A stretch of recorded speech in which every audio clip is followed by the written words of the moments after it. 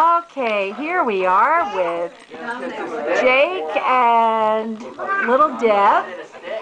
Jake, Jake and Deb are having a good time together. There we go. Whoops. Okay, Devin. Devin. Hi.